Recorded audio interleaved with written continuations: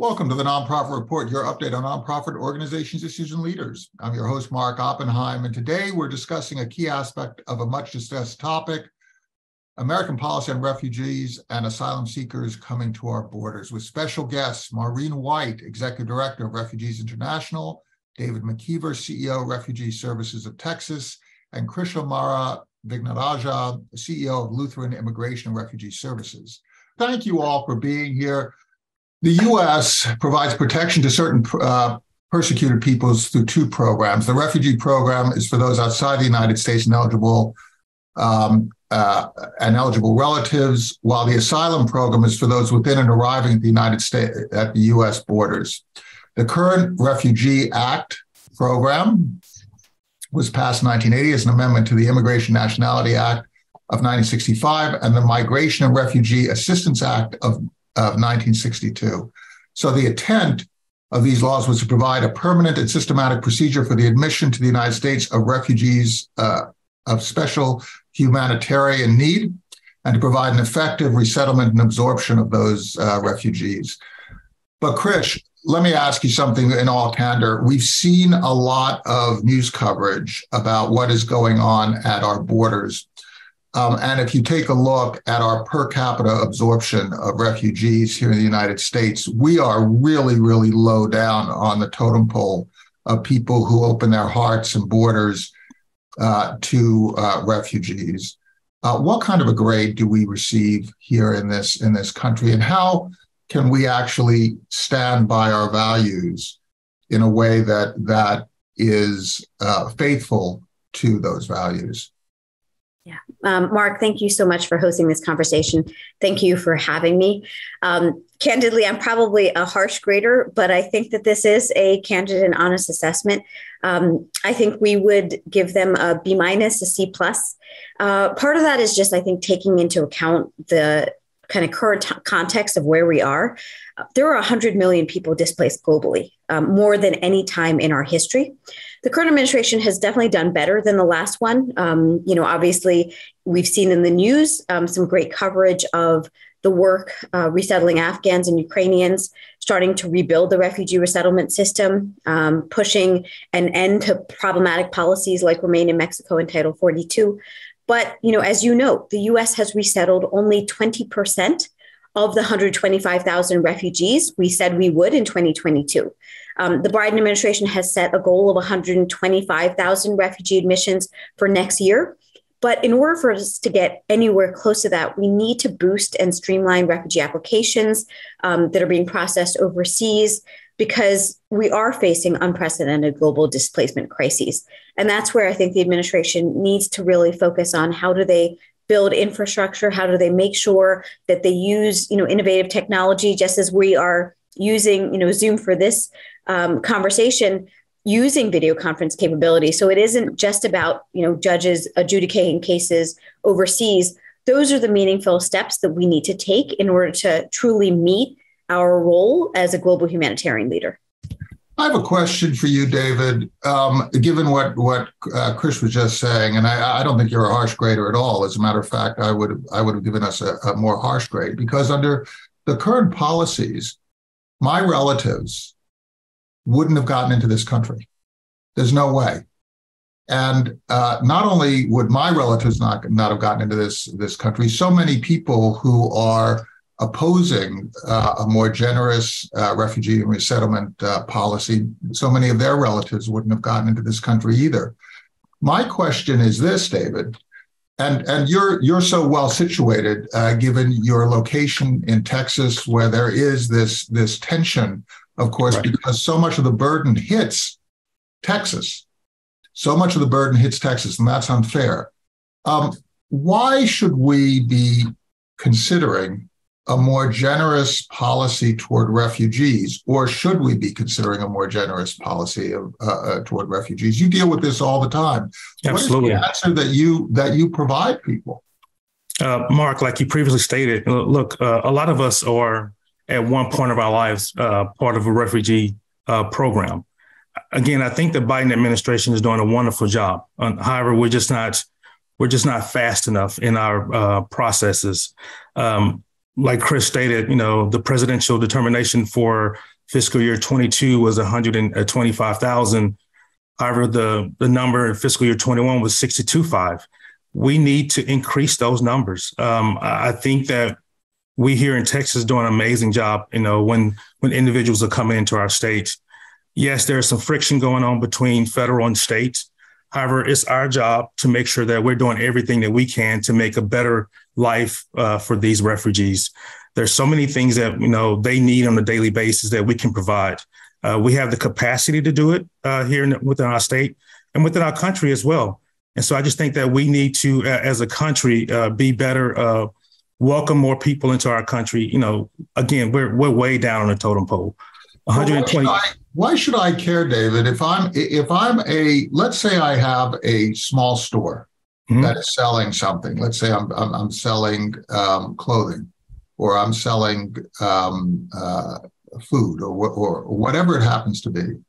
Uh, let's say I, I I'm a rancher. Let's say I'm a farmer. Correct. Uh, why should I care about my tax dollars being spent on supporting refugees and asylum seekers? Why because should I be supportive of that? If you're a farmer in the United States, you know those um, refugees can become essential workers. Those are people who can actually work on your farm, work in our community, make our community better. They become entrepreneurs. You know, they can they can uplift this country. You know, it's not a burden on us, right? This is this is a, we all have to realize that a lot of us was not born in this country, and so those people become productive citizens uh, and make make this country you know what it is. This is an amazing country. Let's not, not let's not you know put that to the side. And the more individuals, this is this continues to be a melting pot.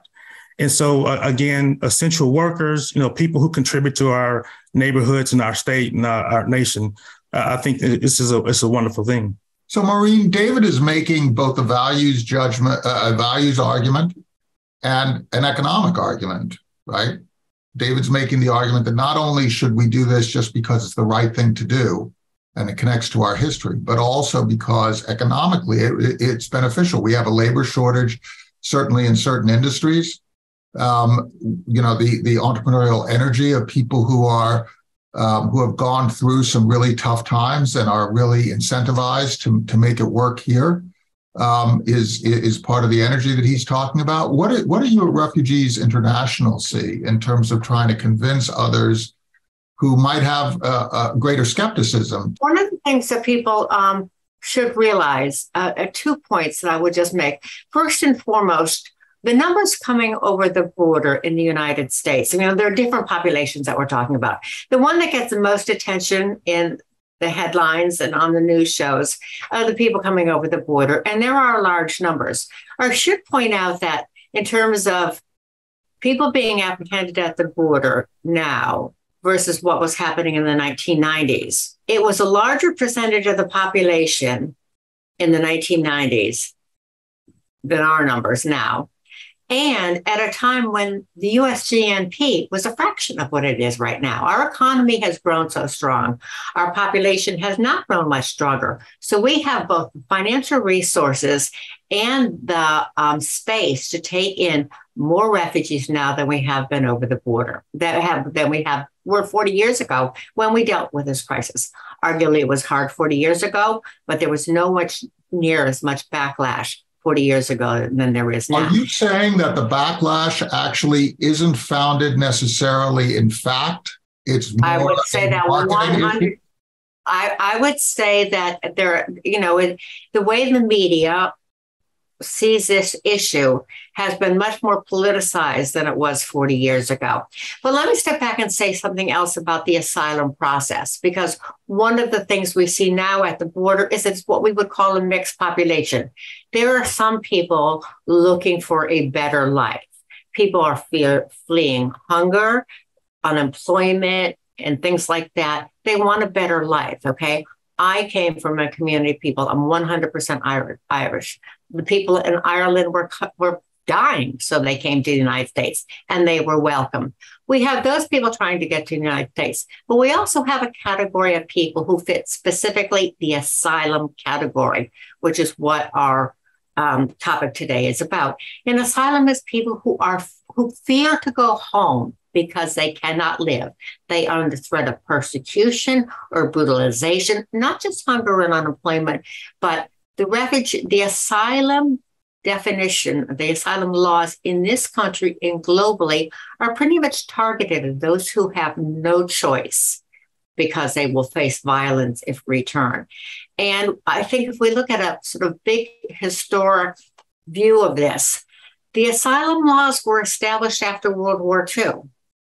And there had been a movement towards global refugee asylum in the 50 or 60 years before World War II. But these are not the law. They're the law of the land in the United States, in federal law, and in most state laws that a person fleeing persecution or fear for their life has a legal right to enter this country.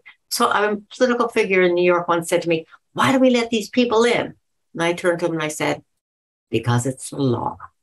And so there's a moral reason, there's an economic reason, and there's a legal reason. Arguably, we can change the laws, but we haven't changed the laws.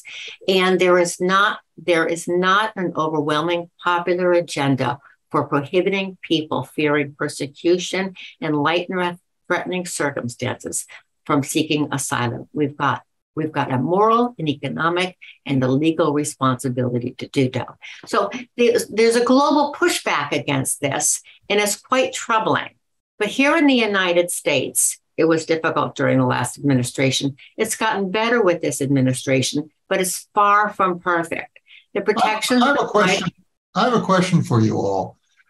Um, if you take a look at this from a, I'm going to separate the economic side from the moral side. Um, you know, you've got Krish, who represents uh, Lutheran Immigration and Refugee Services, which comes out of a Lutheran tradition. We have um, uh, uh, uh a more a more um, secular uh, two two more secular groups. To what extent does the uh, do we interact on a moral basis uh, as uh, in this country. We can't necessarily um, foist our morality, our ideas of values on everybody in the world. But to what extent do we think about um, enacting policies, like in this case, that really are about people who are caught between uh, death and fleeing, right? To what extent is this important uh, to who we are as a country and what we represent. Krish, um, how do you see this in terms of this idea of democracy and uh, creating a world that we actually all want to live in? Well, I, I think um, it's all additive. What I mean by that is there are a number of arguments for why the US needs to continue to be a welcoming nation. Um, everything from what David was mentioning about the economics, what Maureen was mentioning about the legality and upholding our US and international obligations. But I do think it's also under, important to understand for many faiths, welcoming the stranger is the core value. And so freedom of religion is in part expressed by the ability to welcome, um, you know, uh, new Americans and immigrants who are fleeing the most dire of circumstances. But it also relates to our national security. Um, obviously, Ukraine and Afghanistan are two concrete recent examples of why you know some of our strongest advocates are veterans and national security officials. Um, but i also think that there is a morality of the us has always been that beacon of hope and freedom. And for us to maintain global humanitarian leadership i think re- requires us to understand why are people fleeing some of the reasons are obviously the more traditional reasons, reasons of war, persecution, violence. Um, when people ask, well, why would a mother allow for her child to go um, unaccompanied a thousand miles, right, through jungles, through Mexican cartels? Well, because the alternative that she faces is actually worse. I mean, just imagine that, right? What is that child? What is that family facing?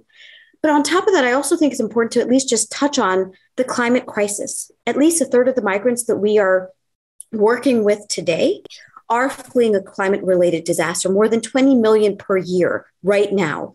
And that's only going to get worse. By 2050, we expect 200 million climate displaced persons. Climate displaced uh, d- displacement. So you're talking about refugees who are fleeing for political reasons. You're talking about refugees um, and asylum seekers who are fleeing violence. You're talking about people who are fleeing because of climate. And, and the, the real question is how do we interact with with uh, with people on these uh, different bases david when you're interacting with people in a state that is very famously led by people who are making certain points um, either by uh, advocating uh, closing of the borders or by busing people to different states and there's a there's a valid element of this right because the border states are absolutely uh, bearing a disproportionate uh, part of this impact, and they need more support. Uh, how do you uh, convince somebody that um, that there are different approaches that are a mix that include um, different aspects, and there's not just a black or white kind of a kind of a situation here? How do you get people to move a little bit on each side and come together uh, on solutions, or or can you? That's a great question, Mark. I think for the most part, individuals want to know um, on the other side of the fence, they want to make sure that people are doing things the legal way, and we want to make sure that we we are providing that information. We are doing everything that we can to bring hope to individuals who want to come to this country the legal way, uh, and so we have to make sure everything is documented. We have to make sure that we're we're we're audited. You know, everything is you know up to standard. And we have to make sure that we're voicing ourselves and making sure that we're saying we're a good agency, we're doing things the right way, and we're doing things, again, the legal way. Maureen is absolutely right. I think most individuals know that this is the right thing for our, our country to do. It's the legal thing for our country to do. They just want to make sure that we're doing things the right way, right? And nobody is coming in this country undocumented and and committing crimes. And so there's a, a scare tactic that's going on here. Um, brought on by the previous administration. We want to make sure that we kind of put that far out and say we're doing the right things. Um, there, there's a lot of steps to becoming a U.S. citizen. Um, there's a lot of different programs, and, so we want to make sure. you're talking about is diminishing fear, right? Mm-hmm. Yep. Get, get back to facts to facts that we can actually all look at, mm-hmm. and stop stop the this sort of fear mongering. Correct. Uh, Correct. Maureen, if if you were then going to go from from stopping fear mongering and you get people in a room, you were going to say, okay, what kind of policies do do we need to have? And one of the policies that seemed to me to be pretty obvious is that you share the burden so that the border states are not uh, bearing such a disproportionate, particularly the southern border states are not uh, bearing such a disproportionate uh, share. I mean, I do think the governors who are busing people, although I, I think it's an, an abhorrent uh, tactic to make a point, but they do have a point in that there should be more burden sharing throughout the country. So maybe that's another thing. But is, are there other um, um, actions that we can all take to create a solution rather than these incessant arguments that are unproductive? Um, you raise a good point because um, it is true that the southern states, some some southern states, do bear a disproportionate share of the burden of the people who are coming over immediately. Again, and I refer to this population coming over the border as sort of a, a mixed mixed population. Okay, some are some are actually fearing. The reasons fleeing are differently, and some of them are treated differently because of the different origins of their motivation. And some are coming here um, to rejoin family members, legitimately with their fear for their life, and they've got a place to go when they come to the United States. The problem is uh, with what has happened at the southern border is the processing of these individuals who come across is so burdensome and so um, uh, inappropriately funded that they end up congregating in those parts of the country rather than going to the other parts of the country where they have relatives, where they know work is. And so the processing backlog has fed into this narrative of crisis. If the people were processed quickly, and the Biden administration just in this past year has made some pretty significant policy changes to speed up the processing the processing of those who are coming over to seek permanent asylum. Some want to rejoin relatives, some want to stay temporarily, some are looking for temporary protected status, which we provide to certain nations which have conflict. So there are many categories. It is the backlog and the processing problem, which was previously, um, it, which is a function of what happened in the previous administration. Cleaning up that mess has taken longer than people wanted. It costs more, and it necessitates a whole new hiring and infrastructure building process on the border, which hasn't happened yet. And if the processing were in place, the bur- there wouldn't be so many people congregating in these states because they would be processed and moved on to other parts of the country.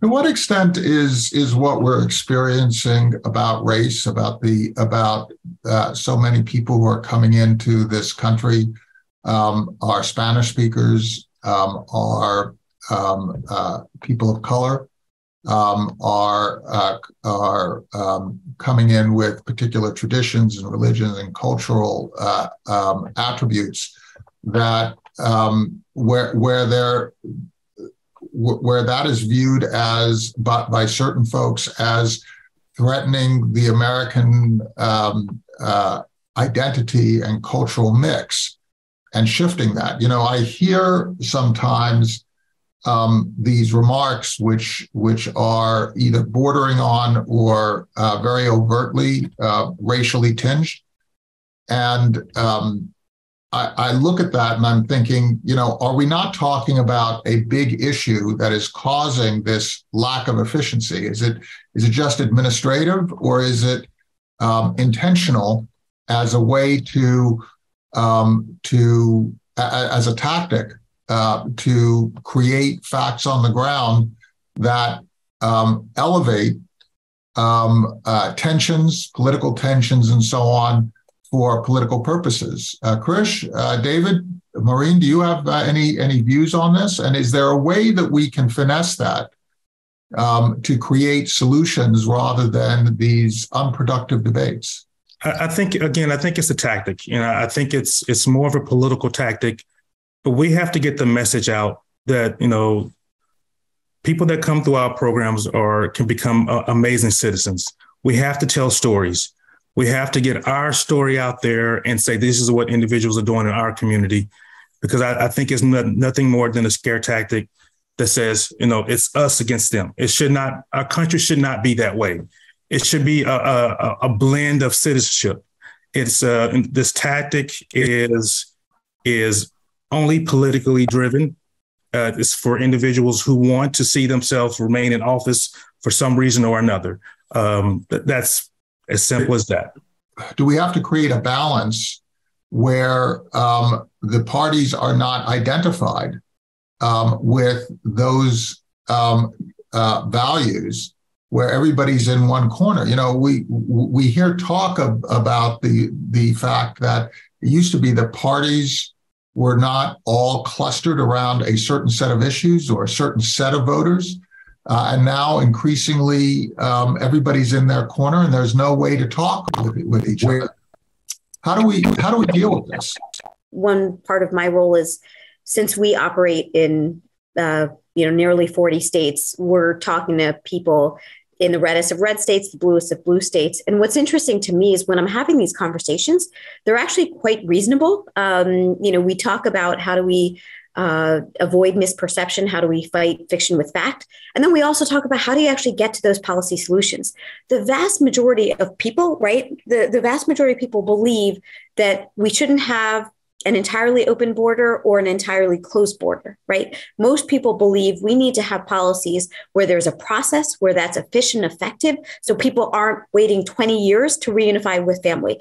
For people who want economic visas, seasonal workers, they don't necessarily want America to be their home, right? But they want jobs, and our employers need um, them to be productive workers here. And so I think the question is, how do we try to get this out of that political realm because that is where you know you do see people going into their corners and trying to make this a wedge issue right? Trying not to solve the problem. So it remains an active debate. It can be an opposition ad.